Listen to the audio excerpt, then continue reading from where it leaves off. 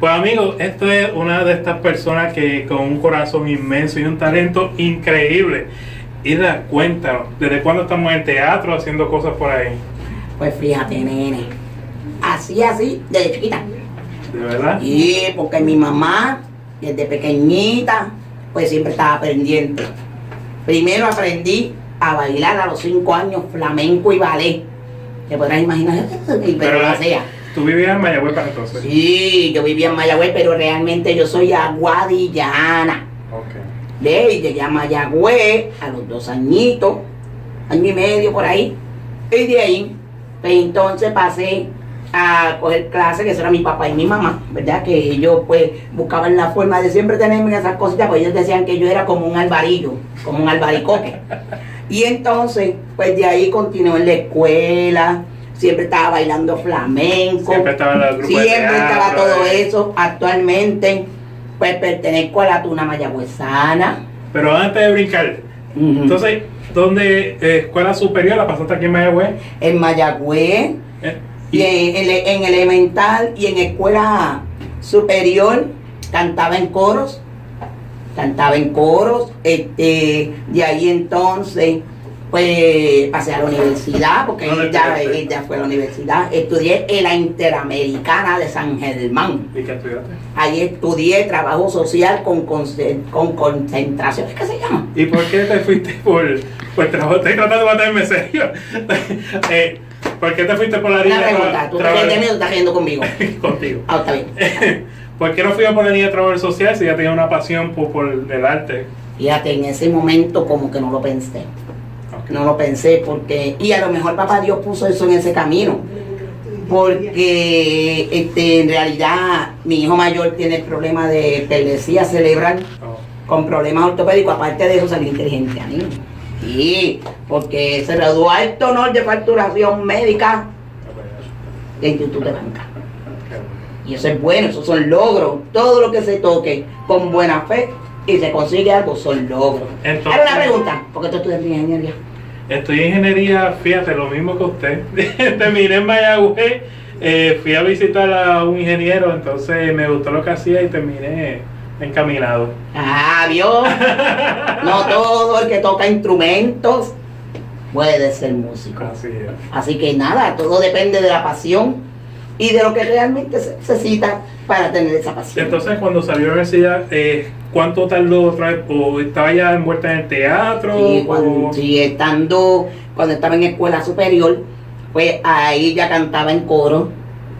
Eh, de la escuela, después cuando me gradué de la universidad, como quiera seguir estudiando, me hice enfermera, me hice técnico de emergencias médicas, estudié mecánica automotriz, porque mi hijo, los chavitos tan malos, Mientras a ver, incursionaba en Todas cositas de teatro. cositas. No, no, ya empecé en teatro ya cuando, en el 92, Ok. cuando pasé a ser señora televisión, que se dio en el Braulio Castillo, de la Academia Fontecha. Escuché un pito que era señora televisión para aquellos de los otros.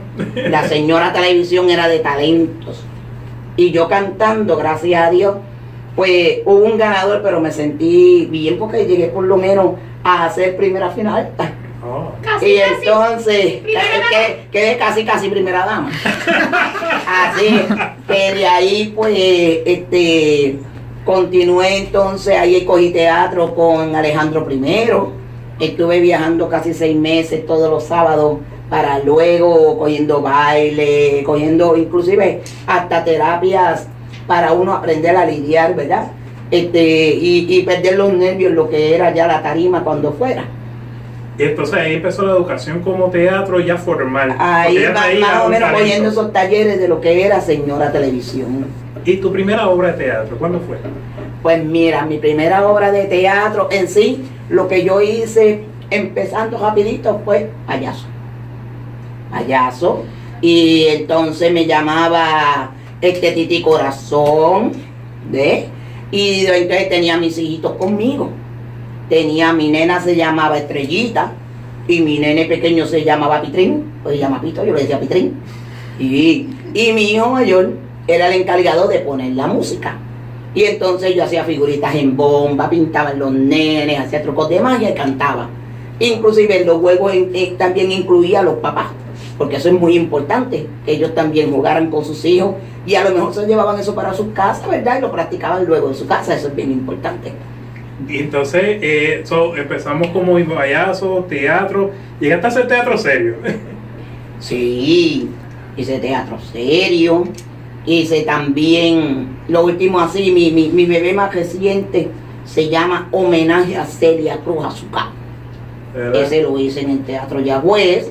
Ahí habían actores, habían cuerpos de baile, había un conjunto de música y era la trayectoria de Celia desde joven que la contaban tres cubanos que compartieron de pequeño con ella y se encontraron entonces en Miami.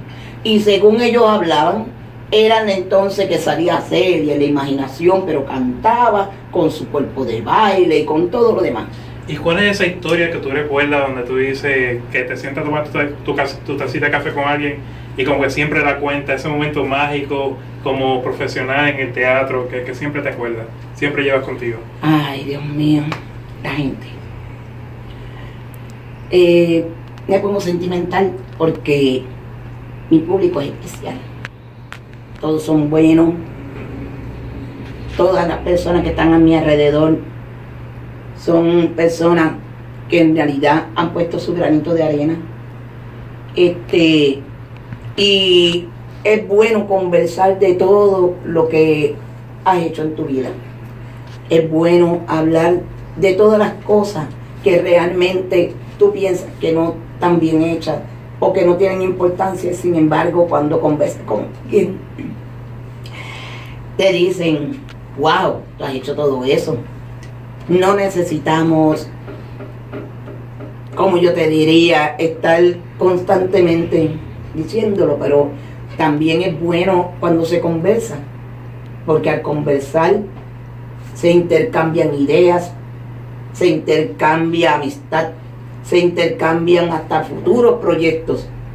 Así que realmente siempre vale la pena conversar y como dijiste, con una tacita de café. Con una tacita de café en la mano. Exactamente. Así que cuando tú me vas a invitar, ¿dónde es que está tu esposa? Después de aquí nos vamos. Ah, vamos a buscar tu esposa, ¿cómo que se llama? Zuleika. Zuleika Café. Entonces, nuestros amigos, ¿dónde te pueden conseguir? pues me pueden conseguir, aparte de que actualmente estoy con las mujeres bellas de La Mujer Opina, de aquí, de. WKJB, miren mis compañeritas hermosas. Y de ahí entonces también estoy todos los jueves de 3 a 4. Aparte de que yo estuve aquí en el 80 por 5 años con el programa con otra compañía, Melodía de la Hiela, así que ya yo soy viejita aquí también. Y actualmente estoy también en Wora TV Noticias todos los jueves, ya a las 11 y, y 50 por ahí, lo que se llama Somos Boricua, para que entonces todos los puertorriqueños, por lo menos los mayagüezanos, porque yo incluyo actividades área oeste, la isla y fuera de Puerto Rico. Cosa de que todo el mundo se entere dónde vamos, si brincamos para allá, para dónde podemos coger. Y ya eso es todos los jueves también.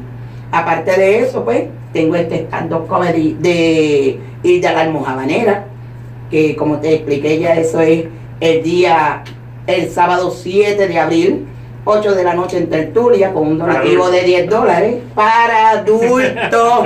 No se les ocurra llevar niños. Y lo otro es que hay otros planes y otras cositas por ahí cuajándose, que más tarde entonces los tendremos informados de lo que viene por ahí, que también se va a hacer con mucha gente linda y, y- y en conjunto con todos los demás. Gracias, Isla. Amigos, como pueden ver, hay gente con corazón bueno aquí en Puerto Rico. Así que apóyalo aquí, compra local y apoya el teatro local. Eso es.